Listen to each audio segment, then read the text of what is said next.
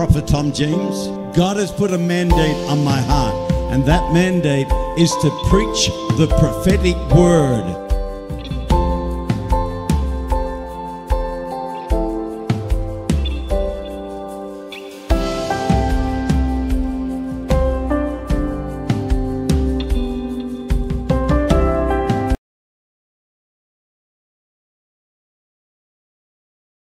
Once again, it's Prophet Tom, and we're here to open the Word of God. We've been looking at the book of Acts, the day of Pentecost. We have covered how that in the last days of Christ, he began to reveal to them a powerful mystery that mystery was the coming of the Holy Ghost. Then we begin, and then we move to the upper room and the events that unfolded in those 10 days. And then lastly, we saw the explosion of the Holy Ghost the coming, the rushing mighty wind, such an effect uh, that it roused up uh, the whole city of Jerusalem, and tens of thousands of people began to gather around this upper room. And from that outpouring, one of the initial signs of the coming of the Holy Ghost upon the 120 was fire as of tongues resting on each one of the 120. We're going to begin to continue opening this passage up. We see from the preaching of Peter the effects that the coming of the Holy Ghost had when 3,000 souls gave their heart to Jesus. But by way of explaining, I want us to go back and see the great mystery of the fires of God throughout the Bible. And I want to sew that up together by entitling this little series, The Fire of God and You. How do you relate to the fire of God? We see from right back uh, uh, in, in Exodus chapter 3, and we know the story so well the burning bush of, Mo- of that Moses encountered. But from that burning bush, just let me read a, a few of the verses. Now Moses was tending the flock of Jethro, his father in law, the priest of Midian. Now let me stop there. You see, we are going to marry the burning bush of Exodus 3 with the day of Pentecost. And then we're going to climax that as in the days of Pentecost. We're going to climax that by having the burning bush of Moses, the day of Pentecost, and you today. How the three intertwine and come together. And what is the thing or the purpose or who is it that combines and unites uh, the three together? We're going to see from the life of Moses how that he was weak just as you and I are weak. We're going to see from the life of Moses that he had hurts and rejections, just like you and I have hurts and rejections. We're going to see from the life of Moses that he had fears and, and, and shortcomings, just like you and I have fears and shortcomings. But you know, from the story of Exodus, of the burning bush, one of the realities that we see before we actually come to read about it is that Moses, with all of his failures, was a man who was hungry for more of God. And I know today that you, a woman of God, that you, a man of God, that you, a child of God, with all of your failures, with all of your hurts and your rejections, have a hunger for God, or you would not be listening to this message today. So Moses had fled Egypt. He didn't flee Egypt because he feared uh, uh, Pharaoh. It says in Hebrews that he fled Egypt to find this lost God. And you and I, even though we're born again, have been on a search knowing that there is more.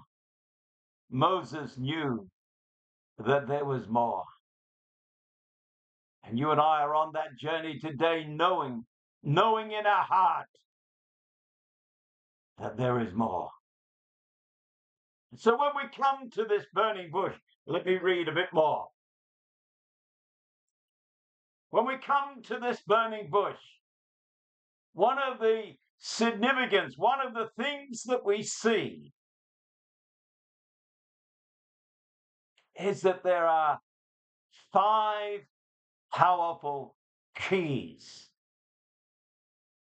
that God reveals in this conversation with Moses. Let us read just a few verses.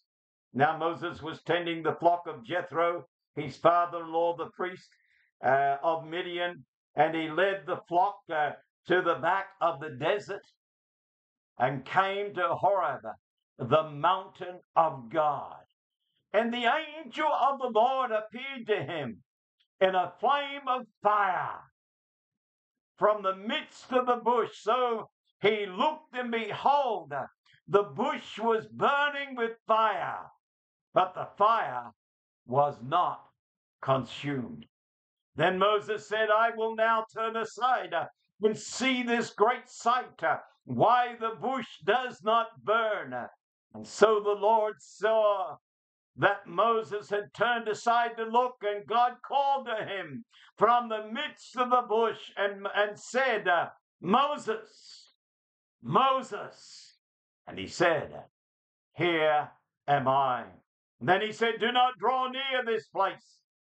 Take your sandals off your feet, for the place where you stand is holy ground.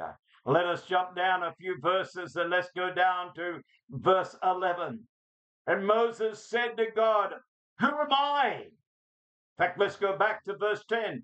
Come now, therefore, and I, this is God speaking, I will send you to Pharaoh that you may bring my people, the children of Israel, out of Egypt. Now, from these verses and the verses that uh, time, uh, time, time's sake, uh, I did not read, uh, we see five powerful statements, five powerful realities that God brings out if we're going to be used by Him. The first, of course, is that Moses saw, and we read it, that when Moses looked at and saw the wonder of this bush burning, that he looked aside and said, I will see this wonder. But before we even answer this first one, let me backtrack a little again. What was Moses doing on the side of the desert? You do not bring sheep to the desert.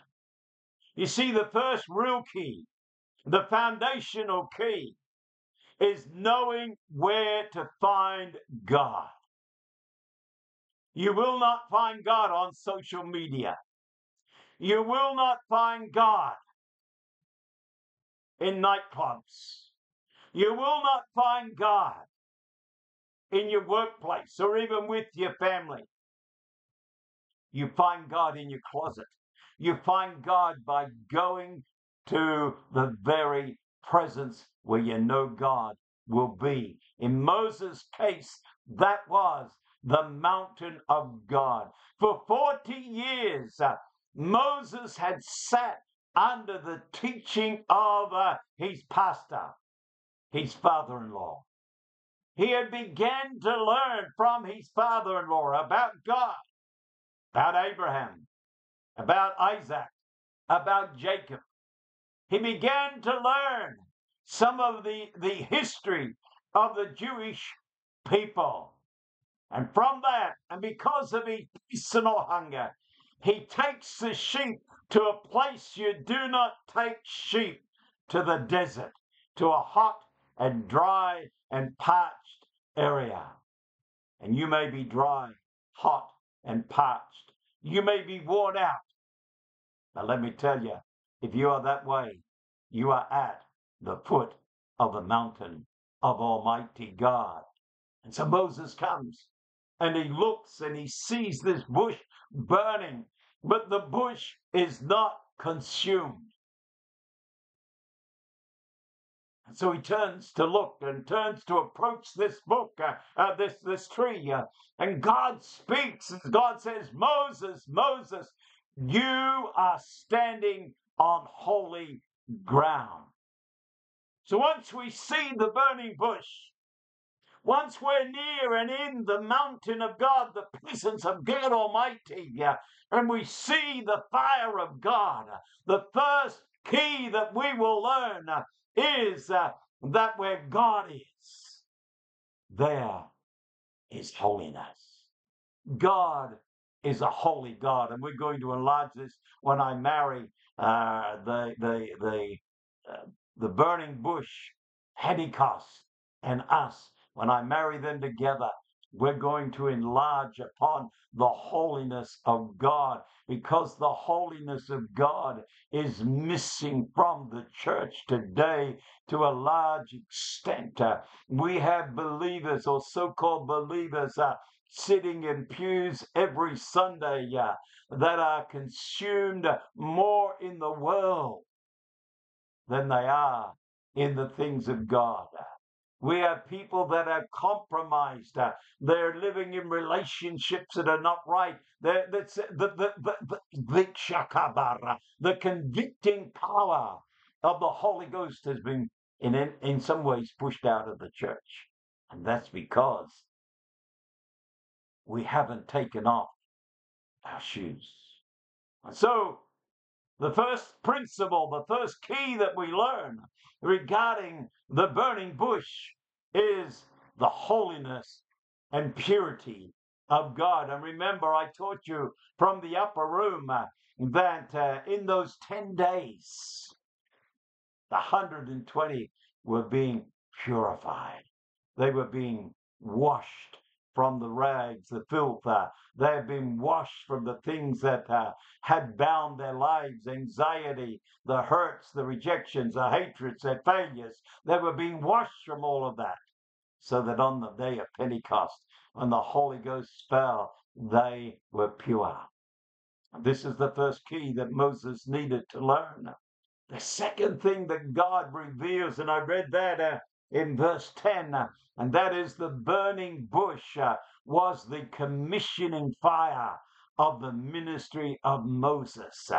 You see, it's only in the presence of God. It's only when we come into that inner chamber with God uh, that we learn uh, and God reveals to us. I've had some numbers of Christians uh, say to me, How do I know the will of God for my life?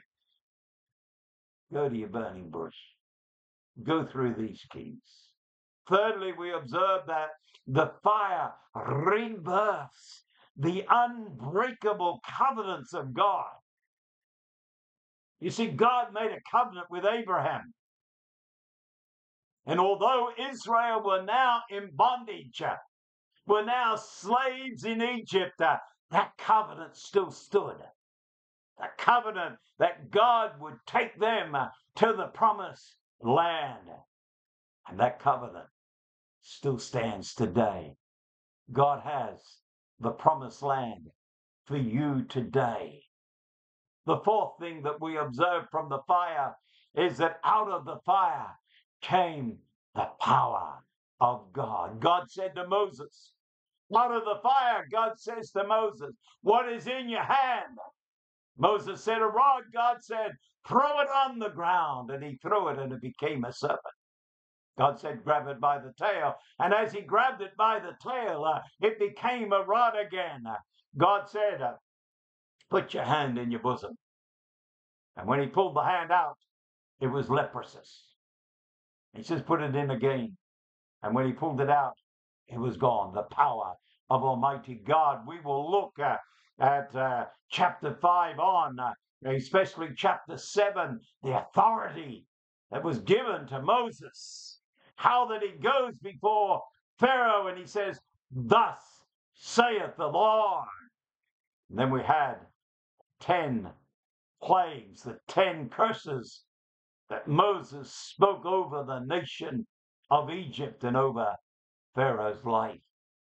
And then lastly, as we come to a close today, we have God's compassionate heart being revealed through the fire. He says to Moses, He said, I have heard cry of my children.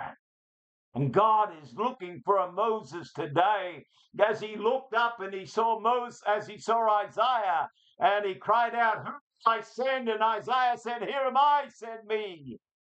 With Ezekiel, and he says there that God says, I go to and fro throughout the land looking for a man, but I found none. God is looking today, going to and fro throughout the earth. He's looking for another Moses. Uh, he's looking for a man uh, that will deliver the nations out of the woke and out of their bondage. Will that be you? Will that be me? For that to happen, we must experience the fire. And through the fire, we must experience the holiness of God. We must understand and hear our commissioning uh, through the fire of God. Uh, we must understand that God's covenant uh, will last and does last forever and will always exist. We must know, even as God said to the uh, the, the 500, uh, that in Acts chapter 1 and verse 8, that you shall receive power when the Holy Ghost comes upon you. And you must come into the revelation that God's heart weeps for his lost children. And God is wanting you. He's wanting to anoint you. He's wanting to commission you. He's wanting to assign you. And for that to happen, you and me, we need to burn. We need to have a burning bush experience. We need to have an upper room experience. We need to have a Holy Ghost, Acts chapter 2, outpouring. We need to have that today. Well, our time's gone again. This is Prophet Tom. Oh, it's such a joy. I'm a Holy Ghost man. It's such a joy to speak to you about the Holy Ghost. Uh, and I'm looking forward to Thursday uh, when we come again to share the word of God with you. Go seeking for your fire today.